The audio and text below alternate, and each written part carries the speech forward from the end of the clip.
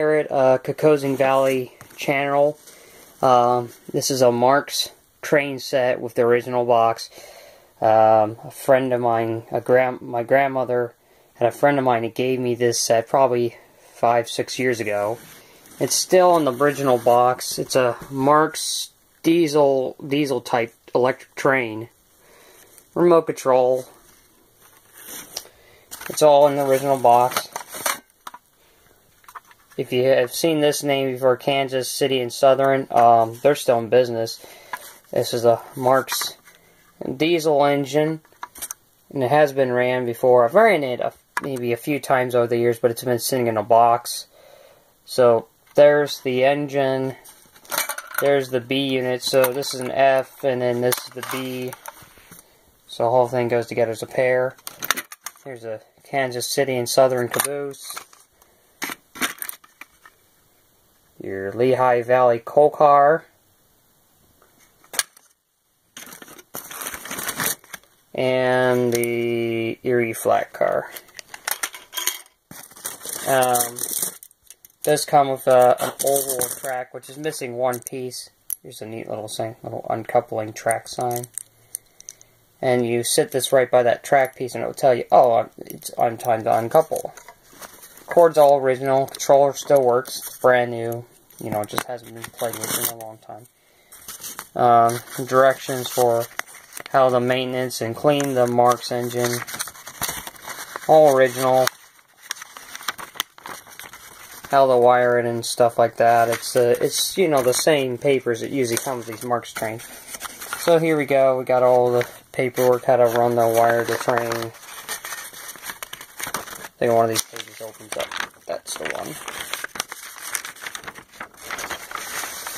So the track plan, um, I do have a switch. I could do this one next time.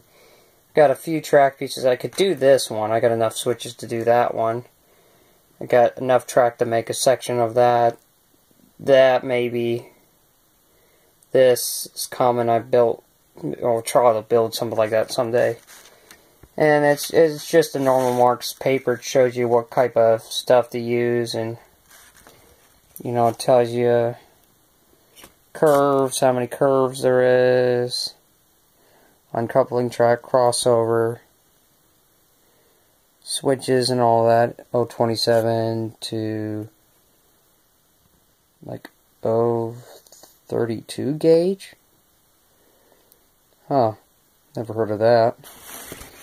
Or 034 gauge. So there's a neat little thing to learn about um, Marx train. Um, I said one time to myself I would do a review on this train set. Um, leave a comment or a question below. Um, I gotta maintenance this locomotive. I gotta see if the light bulb needs fixed. I'm gonna take it out of its shell and clean it up a little bit. It is clean. It does run. I just don't know if the light bulb's burned out or not. But it is a nice engine. It will run. It runs like a champ. Um, I do have a steam engine. I do run some occasions. It's tin metal. And I love this engine. This was a cool train set. My grandmother said to never get rid of this set. It is a very rare set. I've only seen one or two of these in the past, but I've seen other ones with I've never seen another train with this logo on it. I've only seen the real one in real life. Not this type of diesel, but the the Dash 40s. So I've seen a lot of those.